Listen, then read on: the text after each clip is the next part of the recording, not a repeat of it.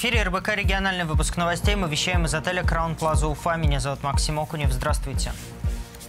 Башкортостан во втором квартале 2022 года приехало на заработки более 27 тысяч иностранцев. Это на 19% больше, чем за аналогичный период прошлого года. Исследование опубликовала финэкспертиза на основании миграционной статистики МВД. Всего на республику приходится 1% всех въехавших в Россию трудовых мигрантов. Больше всего в страну прибыло граждан Узбекистана – полтора миллиона человек, более 950 тысяч из Таджикистана. Из Армении приехали более 100 тысяч человек из Азербайджана 79 тысяч. Также много граждан из Белоруссии, Киргизии, Казахстана, Китая и Молдавии.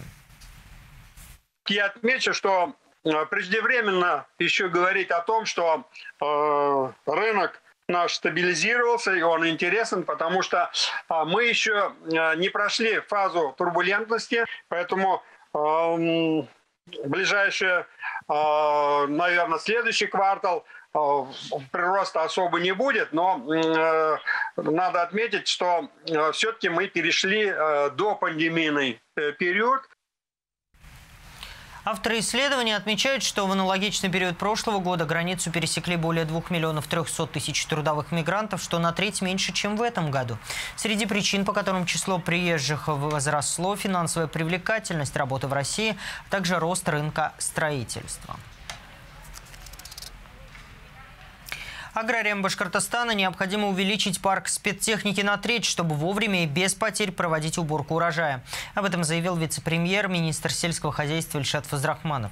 Сейчас в уборочной кампании принимают участие 4000 комбайнов. Это 120, на 120 единиц больше, чем в прошлом году.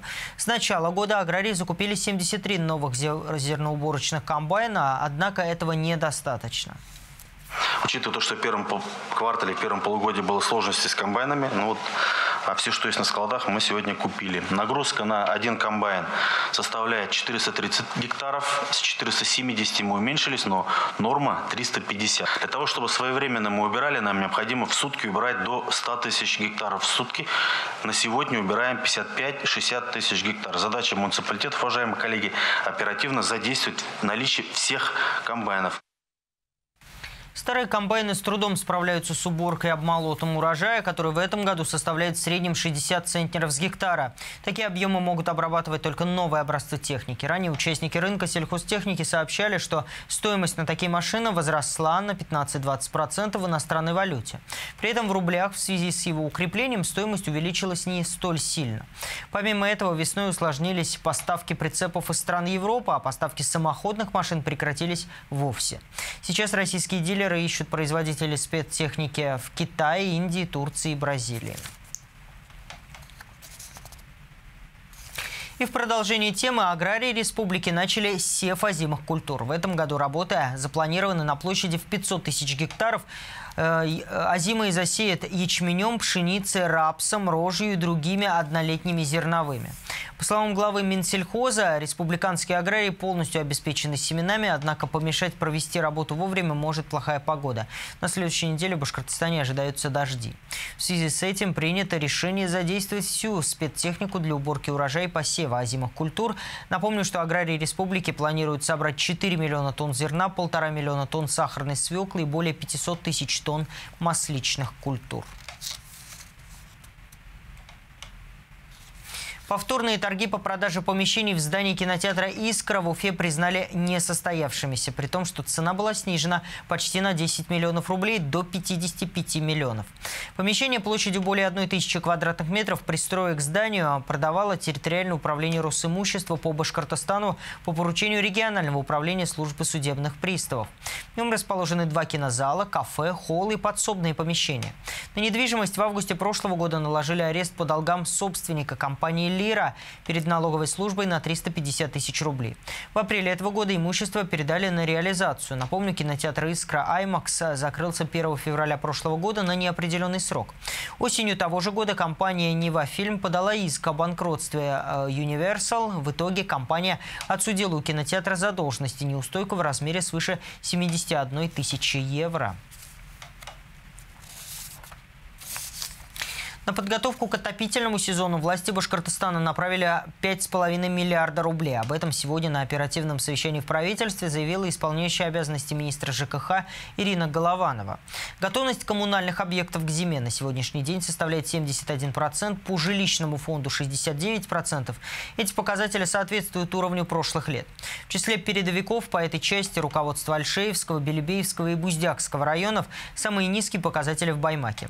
Полностью завершить подготовку подготовку к отопительному сезону муниципалитеты должны до 15 сентября. До завершения предъявных мероприятий остается полтора месяца. Республика из года в год на достойном уровне осуществляла подготовку к зиме и прихождение отопительного сезона. Заданные темпы позволяют сказать о неснижении заданной планки. Администрации муниципальных образований прошу выдержать сроки, которые установлены распоряжением правительства республики по подготовке к зиме. Срок до 25 августа необходимо утвердить графики заполнения системы отопления химически очищенной водой. В срок до 10 сентября заполнить систему отопления и к 15 сентября быть готовыми к подаче тепла.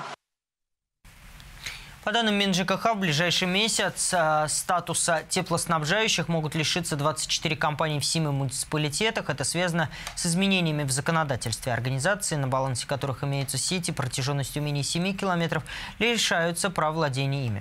Власти республики передадут их в арендное пользование. И в Башкортостане возбудили уголовное дело по факту гибели рыбы в реке Узень. Причиной могло стать попадание в воду отходов с ближайшей фермы, сообщает прокуратура республики. Первыми на замор рыбы обратили внимание местные жители. После ряда публикаций в соцсетях и СМИ Башкирская природоохранная прокуратура выехала на место с проверкой. Установлено, что рядом с реками Сакат, Клеуле и Узень, расположенными в Ургазинском районе, общество с ограниченной ответственностью молочная ферма «Урожай» складировало отходы жизнедеятельности крупного рогатого скота. В результате произошедших дождей отходы попали в указанные водоемы, что привело к их загрязнению и массовой гибели водных биологических ресурсов. По результатам проведенного специалистами расчета сумма причиненного ущерба составила свыше 800 тысяч рублей. Расследование находится на контроле прокуратуры. Виновным может грозить штраф до 80 тысяч рублей или в размере зарплаты осужденного за полгода, а также обязательные работы на срок до 360 часов, исправительные работы до одного года или арест до трех месяцев. Кроме того, предприятию могут запретить в течение пяти лет заниматься определенными видами деятельности. На этом наш выпуск подошел к концу. Оставайтесь на РБК.